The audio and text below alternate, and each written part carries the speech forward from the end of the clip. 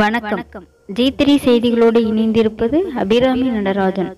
தேங்கனூர் அருள்மிகு ஸ்ரீனிவாச பெருமாள் கோயிலில் புரட்டாசி முதல் சனிக்கிழமை சிறப்பு அபிஷேக ஆராதனைகள் நடைபெற்றது. இனி விரிவான செய்திகள். தஞ்சை மாவட்டம் கும்பகோணம் அருகே சோழபுரத்திற்கும் திருப்பனந்தாளுக்கும் இடையே அமைந்த கிராமம் சேங்கனூர். வைஷ்ணவ ஆச்சரிய சக்கரவர்த்தி என போற்றப்படும் பெரியவாச்சான் பிள்ளை அவதார தலமாகவும் முக்தி பெற்ற தலமாக விளங்குகிறது.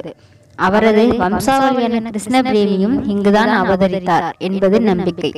இத்தலத்தில் பழமையான சீனிவாச பெருமாள் திருக்கோயில் அமைந்துள்ளது. இங்கு திருப்பதி பெருமாளை நேரில் காண்பது போலவே அச்சு அசலாக அமைய பெற்ற சுயம்புவாக தோன்றிய சீனிவாச பெருமாள் மேற்கு நோக்கி நின்ற கோலத்தில் வேறு எந்த வைணவ தலத்திலும் காண முடியாதபடி அபய ஹஸ்தத்துடன் இங்கு அருள்பாலிக்கிறார். இத்தலத்தில் சக்கரத்தாழ்வார் விஜயவள்ளி தாயார் மற்றும் சுதர்சனவள்ளி தாயாருடன் தனி சன்னதி கொண்டு அருள்பாலிக்கிறார். திருப்பதி செல்ல இயலாதோர் இத்தல பெருமாளை புரட்டாசி மாதத்தில் சேவிப்பது திருப்பதி சென்று வந்த பலனை தரும். அதிலும் புரட்டாசி மாதத்தில் வரும் சனிக்கிழமைகள் மேலும் விசேஷமானவை என கூறப்படுகிறது.